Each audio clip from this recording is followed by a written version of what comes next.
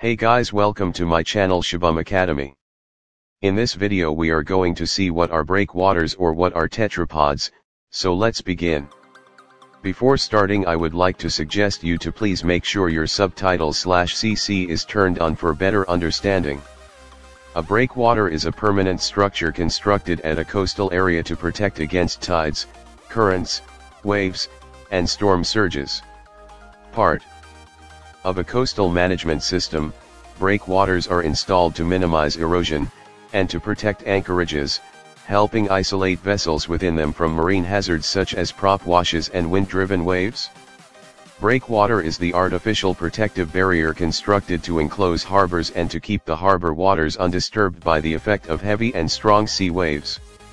Breakwater enables the use of the enclosed area as a safe anchorage for ships and facilitates cargo loading in comparatively calm waters.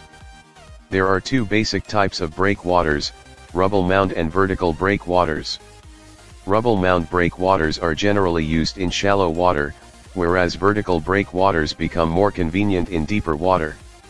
A typical rubble mound breakwater consists of an armor layer of heavy rocks or concrete units usually protecting a less permeable filter beneath and a core comprising smaller sized rocks, the mound can be submerged or extend above the sea level.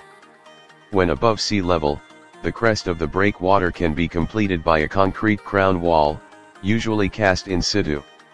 A vertical breakwater consists of a vertical structure of various designs resting on a rubble foundation. Composite Breakwaters consist of a combination, either vertical or horizontal, of a rubble mound and a vertical superstructure. A tetrapod is a form of wave-dissipating concrete block used to prevent erosion caused by weather and longshore drift, primarily to enforce coastal structures such as seawalls and breakwaters. Tetrapods are made of concrete, and use a tetrahedral shape to dissipate the force of incoming waves by allowing water to flow around rather than against them, and to reduce displacement by interlocking. Tetrapod, in Greek means four-legged. If you observe a tetrapod you will see four legs protruding from a middle structure just like a starfish. These four-legged tetrapods are nothing but concrete-made structures used to prevent coastal erosion.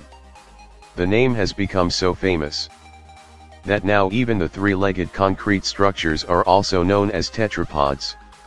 The tetrapods are designed in such a way that they dissipate the force of incoming waves by making the water flow around rather than against them. They also reduce displacement by allowing the random distribution of tetrapods to mutually interlock. Due to their weight and design, tetrapods can remain stable even under the most extreme weather conditions. A number of tetrapods arranged together form an interlocking, porous barrier that dissipates the power of waves and currents. A tetrapod is one of the varieties of concrete armor units in existence around the world, all of which have been designed for similar purposes. The weights of the tetrapods vary worldwide independence of the prevailing local weather conditions. Tetrapods are designed to protect the coast from wave action slash erosion and to reinforce coastal structures such as seawalls and breakwaters. Breakwaters are the structures constructed to enclose the harbors to protect them from the effect of wind-generated waves by reflecting and dissipating their force or energy. Such a construction makes it possible to use the area thus enclosed as a safe anchorage for ships and to facilitate loading and unloading of water by means of wave breakers. The unique tetrahedral shape of the tetrapod breaks the force of incoming waves by allowing water to flow around them and also reduces displacement through the interlocking. Due to their weight and design, tetrapods can remain stable even under the most extreme weather conditions. When arranged together in their hundreds, the tetrapods form an interlocking, porous barrier that dissipates the power of waves and currents.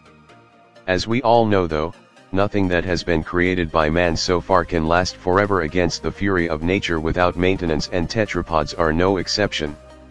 Due to the constant battering they receive, tetrapods or any of the other concrete armor units can become dislodged and need to be replaced after a prolonged period of time.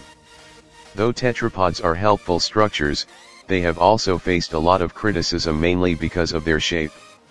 Many people argue that they pose a danger to swimmers, surfers, and boaters, while others say that tetrapods in fact accelerate beach erosion by disturbing the natural processes that shape the coastal environment.